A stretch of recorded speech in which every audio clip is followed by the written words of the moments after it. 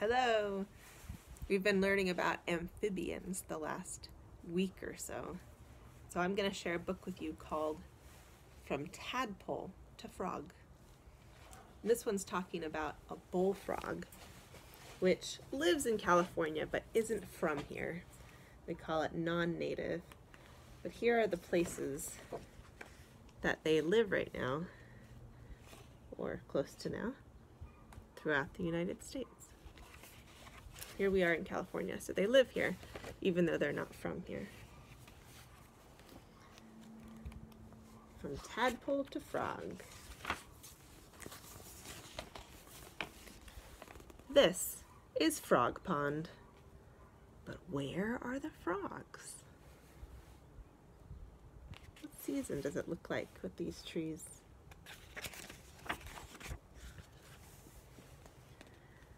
When winter winds whistle, the frogs hide. They sleep at the bottom of the pond in the soft mud. Frogs hibernate in their hideaway all winter long. These are the big bullfrogs. They stay there when it gets cold. After the ice melts, flowers appear, birds return, and pond creatures wake up.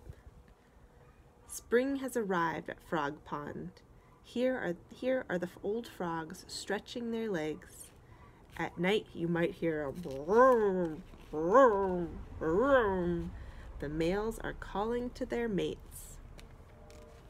Where we live, we don't get too much ice on our we don't get ice on our ponds very often, but other parts of the country it happens more.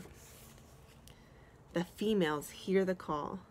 The male hugs his mate. He fertilizes her eggs as she lays them in the water.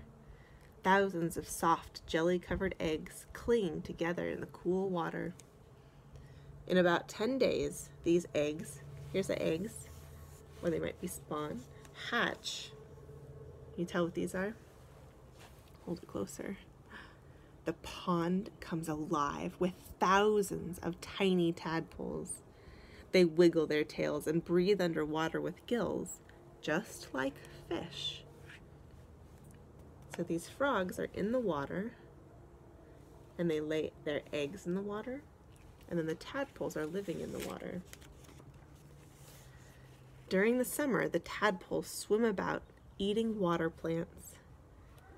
But water beetles, snakes, and birds are eating too, and they're eating the tasty tadpoles. So not all of the tadpoles that hatch survive because other things need to eat them. When fall comes, look carefully in the water. Are any tadpoles left? Hmm. Look here.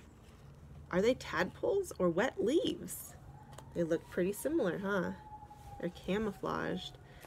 They're brownish speckled tadpoles. Hundreds of them float by with the brownish speckled leaves.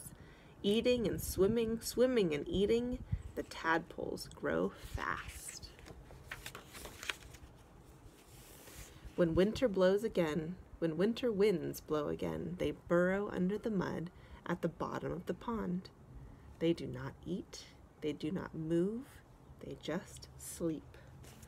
See how they're in the mud not all frogs do this. This type does. When spring sunshine warms the tadpole's world, they awake hungry. So they swim and eat, eat and swim. Tiny hind legs begin to sprout. They grow longer and stronger while the tail grows shorter. So in this stage, they're the froglets. They're a little bit different than a tadpole, but not quite a frog. Tiny front legs begin to show. The tadpoles look like long-tailed frogs. All summer, the tadpoles change more. Their lungs develop and more. Mouths and eyes grow long, larger and more until they become frogs.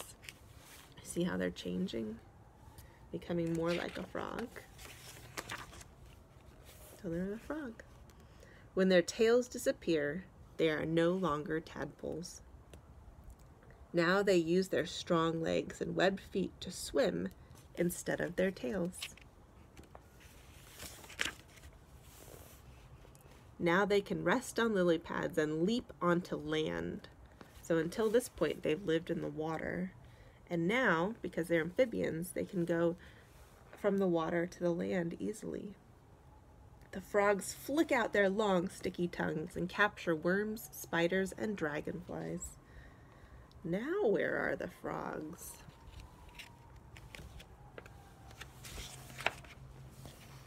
Slowly, the days grow colder. Winter winds blow.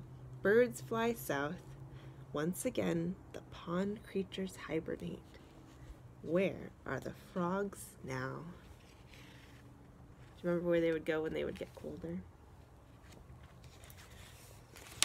Here's a few different types of frogs. They said there are about 2,000 types of frogs. They are different in size, shape, habits, and color, but they are alike in many ways. All frogs grow from eggs to legless fish tadpoles, or the froglets, to four-legged adults. The frog pictured throughout this book is called a bullfrog. It is the largest frog in the United States. The bullfrog tadpole takes up to two years to change into a frog. Other tadpoles take anywhere from two weeks to two years to change into frogs. Here are some other kinds of frogs. You see this, oop, this guy is called a leopard or grass frog. Leopard frogs are the most common frogs in the United States. They are covered with leopard-like spots and have a deep chuckle. well, we should look up what that one sounds like. This, oop, is a pickerel frog.